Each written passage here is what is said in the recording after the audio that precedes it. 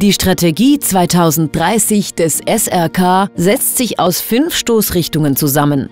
Die wichtigsten Zielsetzungen sind die Stärkung der Zusammenarbeit innerhalb des SRK und mit externen Partnern, die bessere Integration der Rotkreuz-Rettungsorganisationen im SRK und eine aktivere Rolle im freiwilligen Rettungswesen.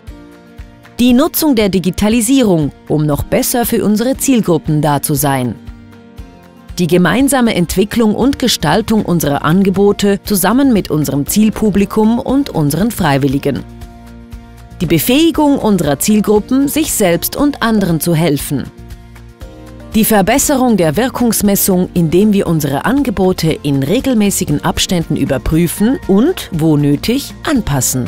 Und schließlich die bessere Nutzung der Synergien zwischen In- und Ausland.